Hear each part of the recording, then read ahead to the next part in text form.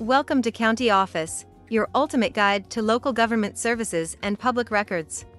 Let's get started. What are five private agencies that protect consumer rights? If you've ever felt like David against the Goliath of big corporations, worry no more. There are private agencies out there, ready to sling their consumer rights protection stones.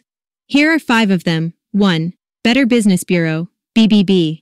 The BBB isn't just a tongue twister, it's a nonprofit that sets standards for ethical business behavior, monitors compliance, and helps consumers identify trustworthy businesses.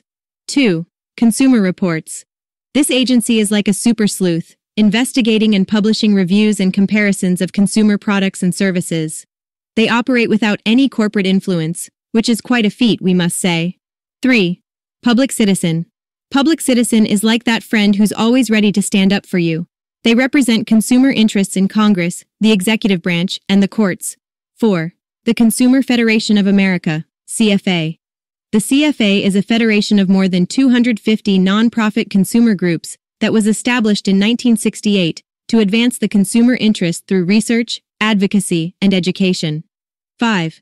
National Consumer Law Center, NCLC.